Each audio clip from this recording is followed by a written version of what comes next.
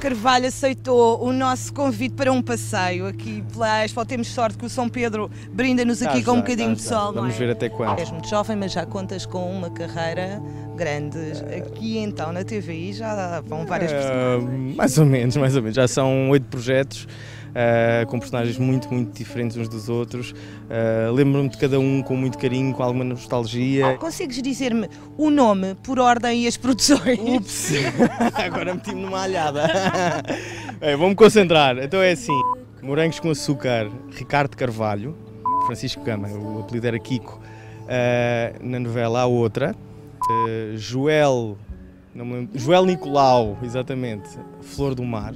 Ah, 37 Quadro Negro ah, e o personagem era o Jorge, não me lembro do último nome. Depois fiz o Alexandre, o Alexandre no Mar de Paixão. Remédio Santo, Remédio Santo, fiz o Ângelo, claro, foi um dos meus personagens preferidos até hoje.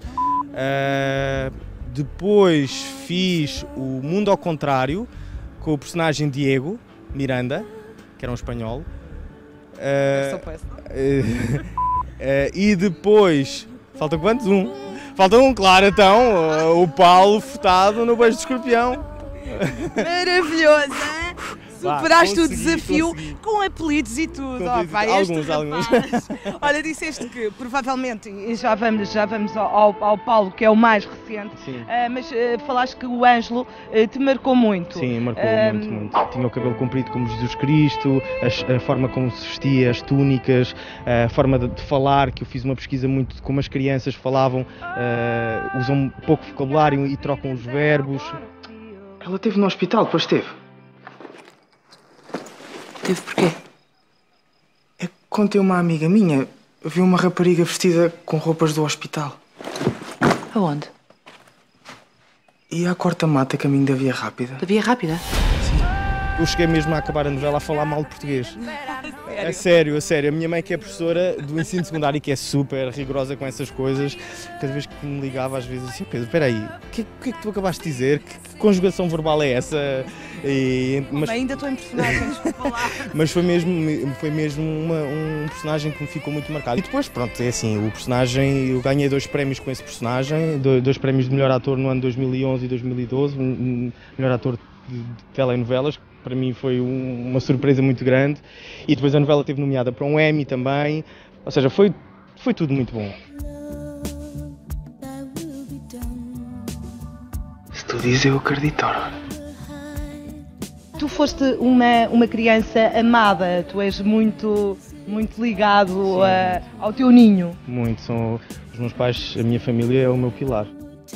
E preciso de sempre deste, de- deste calor deles ah, e de estar em contacto com eles e da opinião deles. Às vezes criticam, mas a minha avó critica mais. A minha avó, a minha avó é a verdadeira Dona Palmira que, que às vezes me diz: Olha, fui comprar a Maria e vem lá, não sei o quê. É verdade, às, às vezes coisas que eu nem sei. Olha como é que a tua avó eh, reagiu agora a esta última personagem eh, arrojada.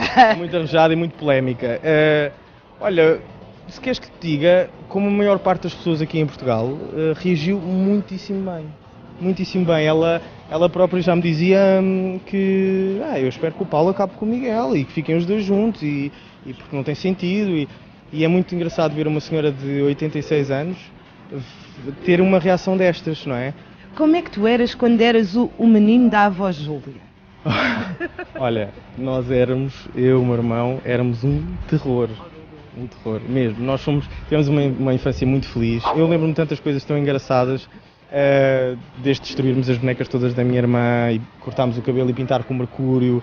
Tenho recordações que foi uma infância muito, muito, muito feliz, mesmo, mesmo. Muito traquina, muita, as muitas dores de cabeça à minha mãe. Fazia 30 mil coisas porque, como tenho um irmão gêmeo, o meu pai dizia, olha, então vá, às 11h30 estás em casa. Ok, o meu irmão também saía, não é? E eu, como queria ficar na rua até mais tarde, E o teu irmão? e o meu irmão chegava a casa, subia às escadas e ao quarto dos meus pais e dizia: Mãe, pai, já cheguei, é o Filipe. Os meus já estavam atrás, ok, tu e o teu irmão, o meu irmão está lá embaixo. Ele sabia que eu estava na rua, então o meu irmão voltava a descer as escadas, subia outra vez, dizia: Mãe, pai, é o Pedro, já estou em casa. Pronto, e fazíamos isso. Vocês não imaginam a quantidade de vezes que nós conseguimos dar a volta ao nosso pai. Foi, era muito engraçado, foi muito engraçado.